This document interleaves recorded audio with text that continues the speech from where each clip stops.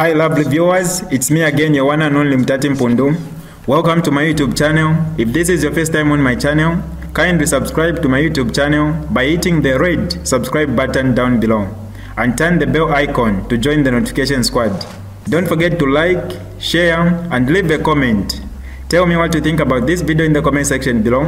I'll be super glad to hear from you lovely viewers. Breaking news, 6 SDA youths die on Lake Kariba. On the other hand, Frank Cherry Kasonde, KK filmmaker, has passed away in a fatal road accident. Watch the entire video my lovely viewers, I mean from start to finish, to get the whole thing. Without wasting much of your time, let's get right into it. 6 SDA youths die on Lake Kariba. 6 7th day Adventist SDA church youths who had gone to Siavonga as part of a larger grouping for a five-day New Year retreat have died on Lake Kariba. The six are reported to have died when they failed to swim ashore after jumping into the largest man-made lake. Five bodies have since been retrieved, while a retrieval mission for the other body is underway.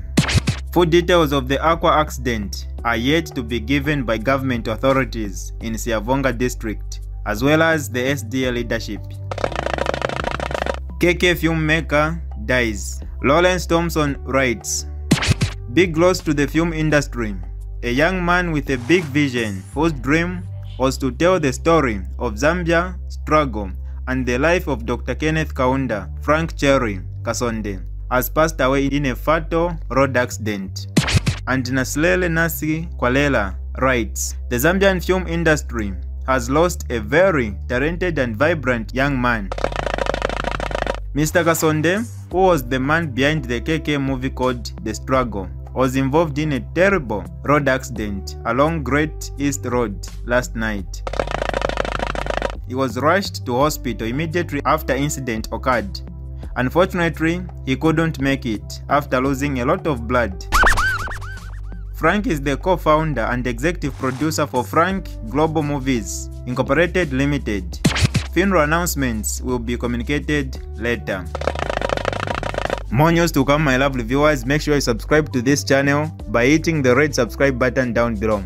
And also turn on the bell icon to join the notification squad. For now, I'm out.